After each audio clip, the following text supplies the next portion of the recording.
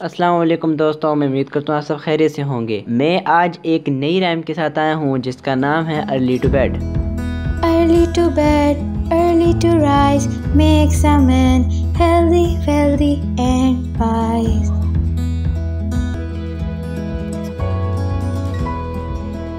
Early to bed, early to rise makes a man healthy, wealthy. तो उम्मीद करें दोस्तों, आज की हमारी वीडियो आपको पसंद आई होगी। लाइक करिएगा शेयर करिएगा सब्सक्राइब करना ना भूलिएगा। मैं मिलता हूँ अगली वीडियो में। तब तक के लिए अल्लाह हाफिज़।